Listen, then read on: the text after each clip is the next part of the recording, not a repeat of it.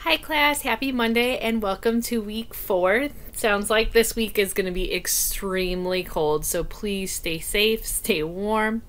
Um, hopefully, you guys are still working. Um, hopefully, you don't have little ones staying at home all week with school off, but such is life. But we are on week four this week. Uh, we're going to work on developing a plan for employment. We're kind of continuing with that competency, networking with potential employers, uh, creating a personal branding product that describes who you are, as well as organize a service learning project with your classmates. So, this is going to be our first week of really diving in and working with all of our classmates on the service learning project.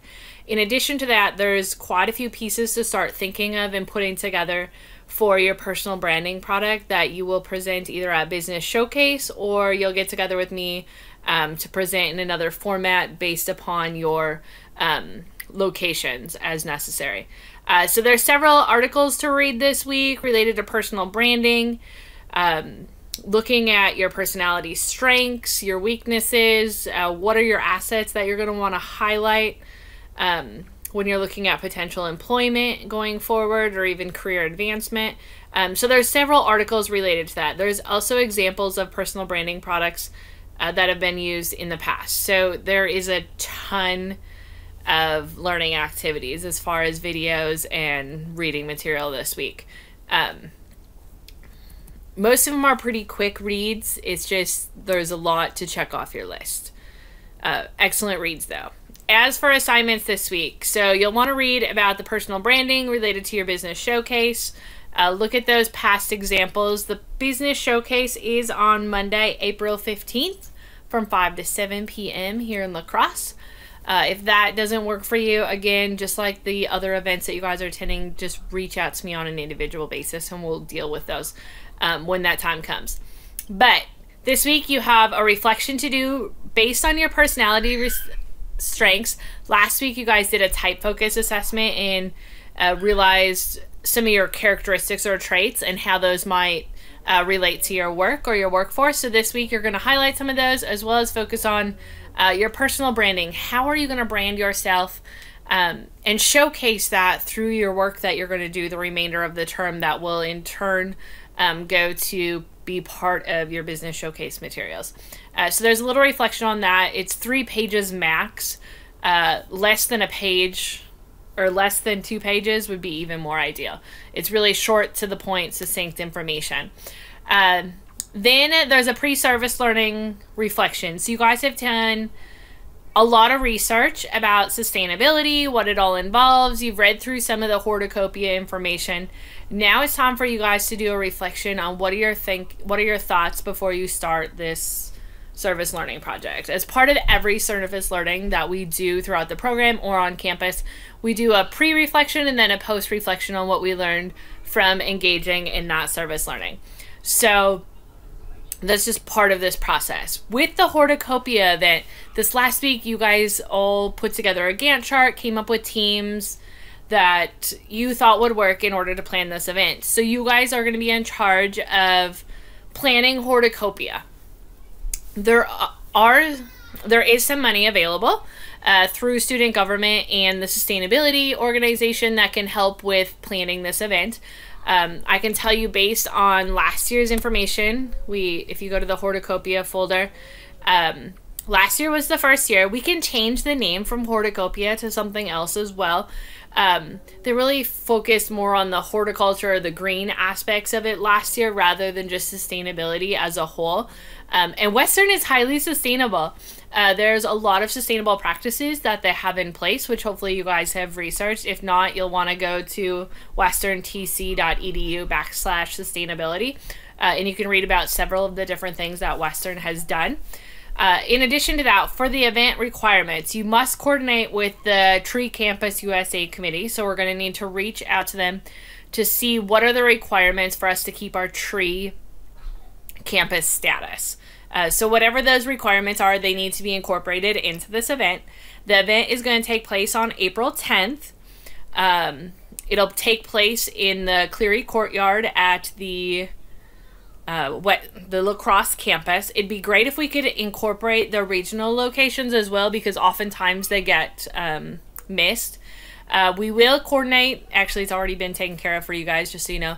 Uh, with the Human Service Club, they are going to have their chicken queue on the same day. Uh, they've already pretty they're 90% sure that they're going to do it the same day. So that'll help to bring in uh, more individuals to the event. But what else are we going to do on that day in order to make this an event that all students maybe even community members want to come to?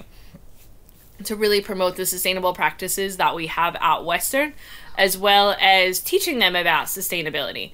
Um, there are several clubs and organizations that you guys could reach out to uh, so hopefully they'd really like for us to re-engage the childhood club, food services club, uh, and look at many of the other customers or um, clubs that are on campus and how we can engage as many students and staff uh, into this event. So maybe we put a challenge out for faculty and staff for the day.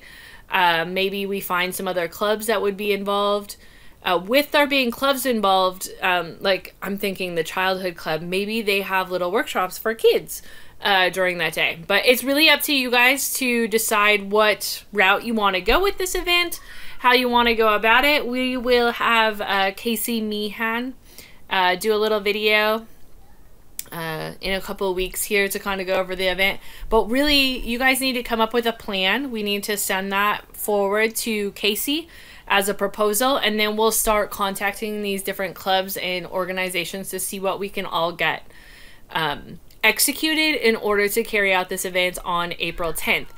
With most, so there's nine, ten of you in this class. Um, with most of you being located throughout the U.S., to be quite honest, or out, outside of La Crosse, um, I don't expect that you're going to be there for the day of the event. You're more than welcome to, but you're not required. Um, but I do have a face to face class that could put in some of their hours on the day of the event to execute it for you guys as well. They're looking to fill their uh, volunteer hours for that day. So that may be an option to get other individuals that are in the business management program at least involved into this event to help with the coordination. So those are just a few ideas. Um, with that being said, looking at this week's assignments, uh, this is when it starts to get a little challenging, particularly um, because you're just given the overview of the event and now you guys need to come together and coordinate. Just like when you're in the workforce um, or you're working on a new event that you're planning, your boss isn't standing over you telling you step by step everything that needs to be done. So you guys are going to have to come together as a group, uh, come to a consensus, work together um, figure out some of the problem solving on how we're going to get from where we are today to the end point and executing this event. Um, so, in order to do that, the first thing that you guys need to do is participate in the service learning discussion board. Last week, you guys did Gantt charts and came up with team ideas. So, I'd like you guys to post them out in this discussion board. Uh, what's going to be unique about this week's discussion board is I'm not requiring you to reply to a certain number of classmates. Um, or any of that.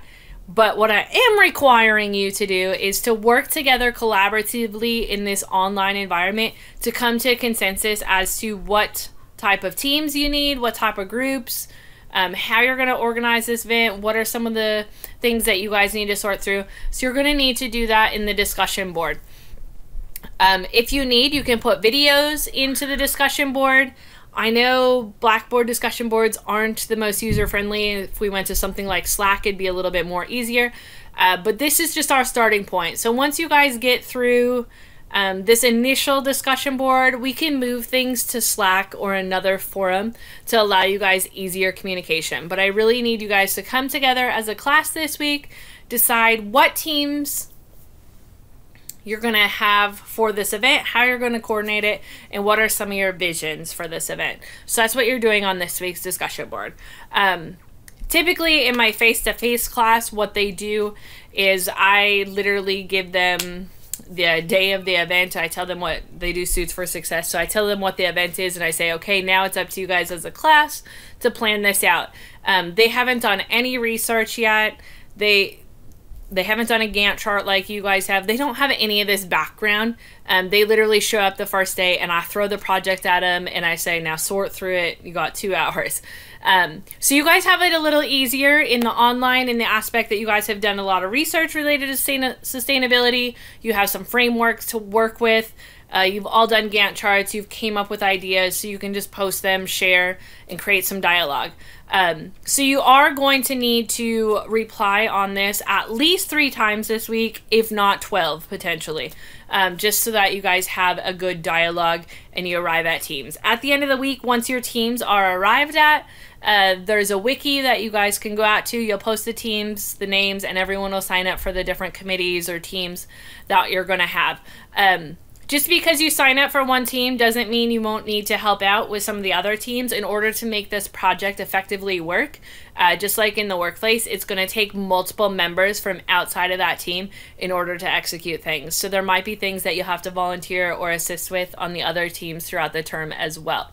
Um, so that's the discussion board. That's the project. That's where we're going this week.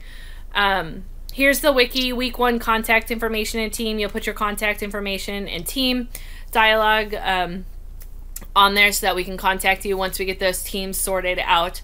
Um, and then I will create a Slack channel for next week for you guys to start executing and planning so that we can submit a proposal to Casey Meehan and then move forward with the planning phases.